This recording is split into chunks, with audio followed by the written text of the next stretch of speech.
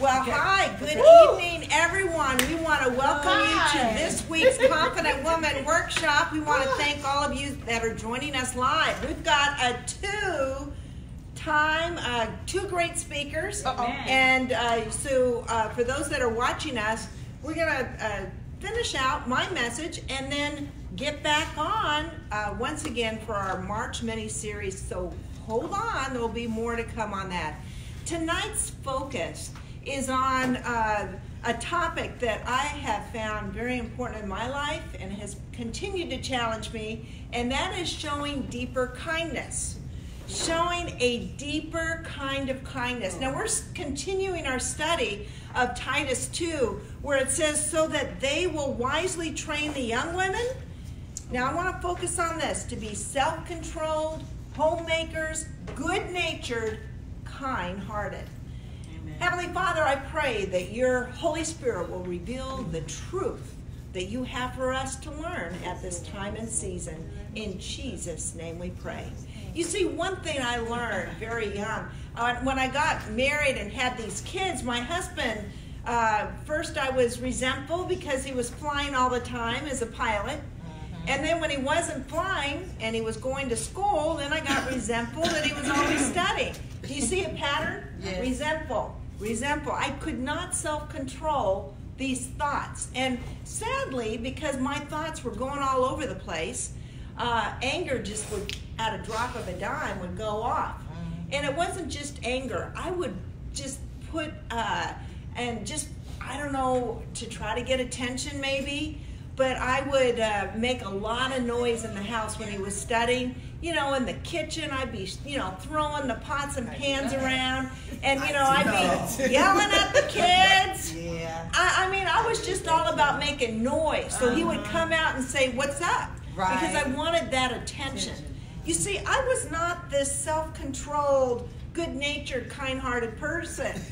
I mean, I know the potential is there because the Holy Spirit produces that fruit of love, joy, peace, patience, kindness, uh-huh. goodness, self control, gentleness. But it was not operating because I wasn't yielding to the Holy Spirit. I was yielding to the flesh and what I what I wanted. I wanted attention. So tonight we're going to focus on this deeper kind of of kindness. And um, think about this God's not as much interested in what we do, but how we're doing it. Okay. How are we doing life? Yes. And you know, when you think about this, you know, and you look at this Titus 2 uh, curriculum for women, and it's talking about all these different things, see how kindness is just packed right there in the middle of it. I feel like we need, just like Oreo cookie or eh, I had PBJs with the grands yesterday, just like all that good stuff in the middle. I feel like kindness is that good stuff. It's it's the flavorful part. Because you can be doing a good work, and we know from 1 Corinthians 13 when we, we go into that scripture on love. In fact, let me read some of those scriptures for you right now. 1 Corinthians 1 through 3. It says this if I had the gift of being able to speak in other languages without learning them and could speak in every language there is in all of heaven and on earth, but didn't love others, I would only be making noise. If I had the gift of prophecy and knew all about what was going to happen in the future and knew everything about everything, but didn't have love, what good would it do? Even if I had the gift of faith so I could speak to a mountain and make it move, it would still be worth nothing at all without love.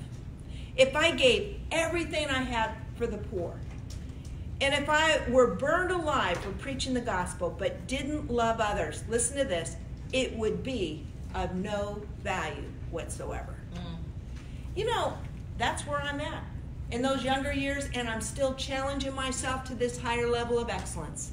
God is is uh, reminding me, Cindy, it's not so much about what you do, it's how you how doing you it. Do it. We had a dear man in the organization I work for. At, um, I was talking to someone on the phone today, and they're still celebrating all that he did in that community. Mm. He he was just a legend, but it wasn't what he did it was how he did it. There was such love and tenderness. And as believers tonight, as women, particularly that are in this room, I, I want to challenge us. How are we doing it? Are we doing it with the God kind of love? Are we like 1 Corinthians 13, just doing the stuff, but there's no love, and so it's meaning nothing? It's of no value? Tonight, I, I want to stir and awaken all of our hearts, particularly as we take time to, to mentor and, and and just call it out in in, in the younger ones and, and those that whom God sends across our path. Because if we were to rephrase this, now getting back to the day in my younger years, um, maybe it could have been said this way. If I had a house so spotless that people could eat off the kitchen floor, and there was a day that happened, and if I can whip up now that wouldn't be me. Incredibly scrumptious meals on a tight budget. Maybe a meal on a tight budget. I don't know about how scrumptious. But then if I could um, transform our home into a magazine quality showcase, Uh-oh. but if I don't do it all with kindness, it's nothing. And that's what my husband challenged me. I was trying to make these meals I mean, it was before YouTube and all that. I had this picture cookbook where I could take it step by step by pictures. but it just, I mean, I'm telling you, we had we had volcano eruptions in the oven all the time because I just couldn't quite figure out the teaspoons, tablespoons, and what. I mean, what does that stand for? And we had all kinds of adventures. And that fire alarm, oh my gosh, it was it was just crazy how this the smoke would go all over the place. But I'll tell you one thing my husband said. He said, Sweetheart, I love that you're trying to do all this, but you know what a priority for me is?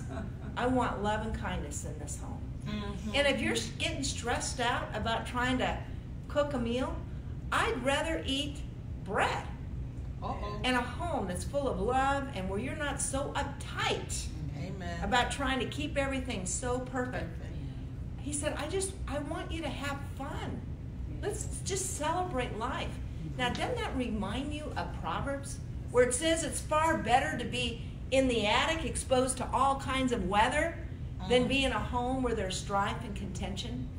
And oh. God challenged me that day, and I realized I need to simplify my life. I need to get my priorities shifted. And He drew me to that scripture in 1 Corinthians 13. I need that God kind of love, and let that be the motivation of all that I do. Because even faith works by love. Amen. And when we have love as the center part of our home, anything's possible. Amen. Amen. So, it reminds me, and I don't know how many Marthas there are in this room, but there's a story in the Bible about a friend of Jesus. Her name was Martha, and, and I have a lot of, I can relate to Martha. She was a firstborn, as I am. and, um, you know, with that, I do tend to be motivated with, uh, I'm a doer, I'm an organizer. And uh, one of my sisters, if you're watching this, you'll know what I'm talking about, sis. But one of her favorite pictures of me as a child, it shows her up on my bunk bed. And I have a, just this, you know, kind of angry face. I'm just like so uptight because mm. she's in my space. And there's my sister, this big old smile on her face with her friend on my bunk bed. I just wasn't kind of happy about stuff. if I didn't have control, I was not happy. But here was Martha, same kind of scenario, right? Mm-hmm. The tale of these two sisters. And she lost sight of what was important. Think about these words that Jesus himself spoke in Luke 10 41 and 42. He says, Martha, my beloved Martha, why are you upset and troubled? Pull away from all these distractions. Are they really that important? Mary has discovered, that's her sister, the one thing most important by choosing to sit at my feet. She's undistracted, and I won't take this privilege from her. You know, I learned that when we're not self controlled, we don't have the margin, we don't have that heart of kindness. And when we are not controlling our thoughts and, and kind of keeping anything that's that's uh, not surrendered to the Holy Spirit that produces that love, joy, peace, patience, we are going to allow other attitudes to begin stirring within us.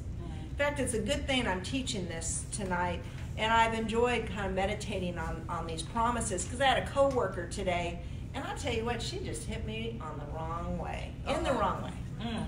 because she wants me to write, you know, do her job. Mm-hmm. And she said, Well, at the staff meeting, can you do your thing, Cindy? I know you do it every week. Can you write up your portion? Well, that's I run 13 programs, so there's a lot there.